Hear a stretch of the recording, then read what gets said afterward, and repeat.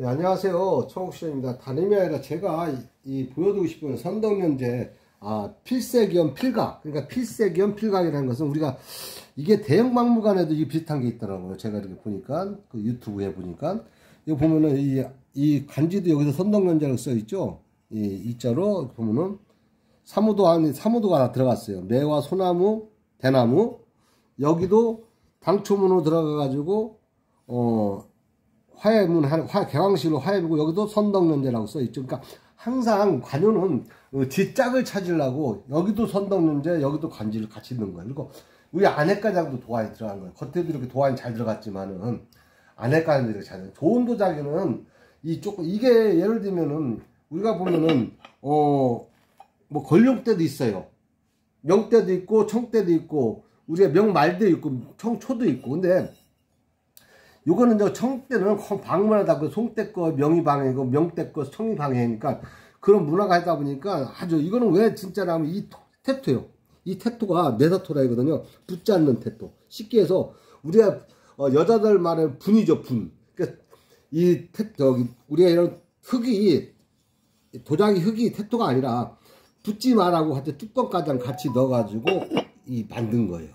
그러니까 이게 나중에 붙지 말라는 택. 그러니까 우리가 따져 분, 여자들 분 같은 그런 택토다 보니까 이제 분가를 받으니까 이렇게 곱고 붙지가 않고 나온 거죠. 도자기. 그리고 이런 거 보면은 상당히 만들기가 힘들어요. 왜냐 주병도 만들기도 힘들지만 특히 이런 거는 왜 만들기냐면 여기다 그 큰에다가 붓을 빤 다음에 작은 데다 태워서 여기다가 불을 빤 다음에 필세를 이제 세 등분 해가지고 나는 거 편하게 쉽게 해서 큰 데를 하게 되면 먹물이 예를 들면 제대로 안 되다 보니까 이거 세 군데를 해가지고 필세 겸 필각 겸 같이 사용해라 가지고 명대 청 저기 영락대도 있었고 이 선덕대도 있는 것 같아요. 근데 선덕대 치고 상당히 보, 보강이 너무 좋아요. 그리고 이 사무도 보세요.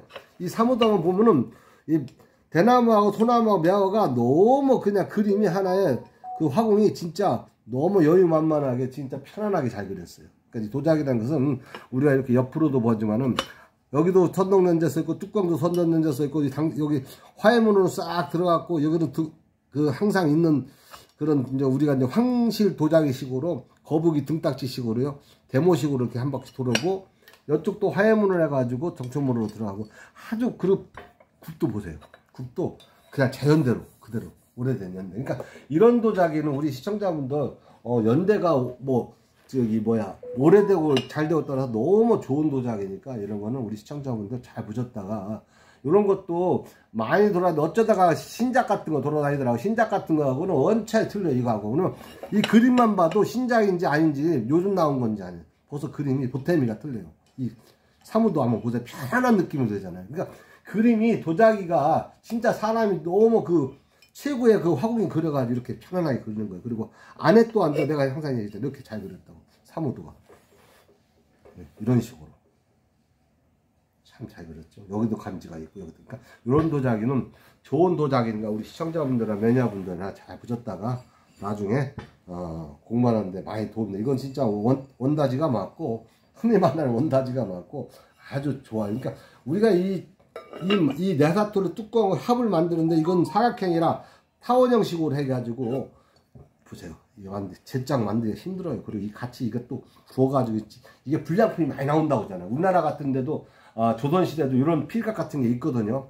초기 같은 데 고소면 한데 그런 것도 이 얘기 들어보면은 우리나라 그 유명한 사람들은 그 확률 그러니까 쉽게 해서 정확성이 떨어진다는 거지. 그만큼 이게 그 정확한 도자기 나오기가 힘들다 이거예요. 그러니까 구부러지고 과마에 구타고 뭐 찌그러지고 여러 가지 그리게 되면 그러다 보니까 근데 이건 상당히 발색 좋고 아주 도자기 또 하는 너무 좋고 발색 좋고 발색이라는 것은 그냥 자연적으로 나와 있어요. 이렇게 보면은 난 도, 좋은 도자기입니다. 이렇게 나와 있으니까 시청자분들 잘 보셨다가 한번 사이즈 한번 재드릴게요. 지름이 한 27cm 합가장 높이가 한 9cm 되네요. 그러니까 이렇게 크지도 않지만 어느 정도 적당인데 이거는 저 집에 뭐 기죽돌 아니면 뭐 왕 같은데 뭐 궁궐에서 썼지. 그러니까 좋은 도자기니까 우리 시청자분들도 그렇게 공부 많이 돼가지고 나중에 좋은 도자기 많이 만나가지고 항상 부자 됐으면 좋겠네. 그럼 감사합니다.